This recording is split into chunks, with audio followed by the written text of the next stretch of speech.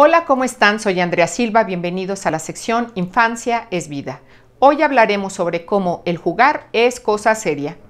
La importancia de lo lúdico en la niñez es porque el juego, de acuerdo a Arnold Winnicott, es la herramienta con la que el niño va construyendo y asimilando su realidad exterior.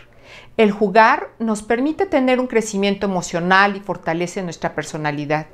Es a través del juego que el niño descubre su mundo y lo experimenta.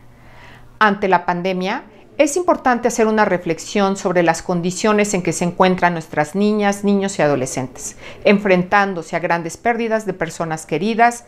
Muchos de ellos eran sus padres o abuelos, se quedaron sin amigos con quienes convivir, espacios para divertirse, sin rutinas ni lugares de convivencia lo que ha generado que se desarrollen en situaciones de altos niveles de estrés, lo que ha provocado que muchos de ellos presenten alteraciones de sueño, disminución en la capacidad de concentración y de aprendizaje, aumentando además la deserción escolar, problemática que tiene que ver con la falta de atención por parte de los padres ante el aumento de actividades laborales y en casa.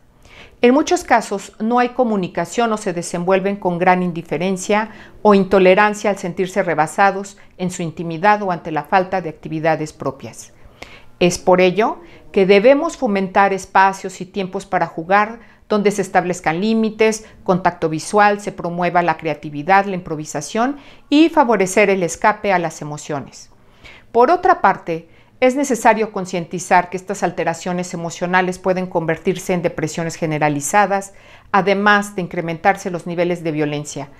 Por ello, es importante generar políticas públicas que garanticen una atención adecuada en la salud mental, donde el niño se sienta atendido y escuchado.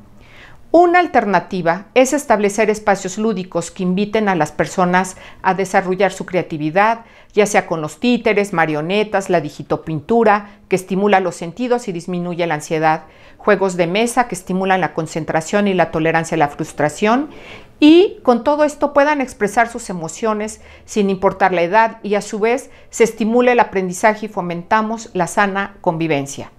Es por ello que debemos rescatar nuestra capacidad de sonreír, de soñar, improvisar y disfrutar.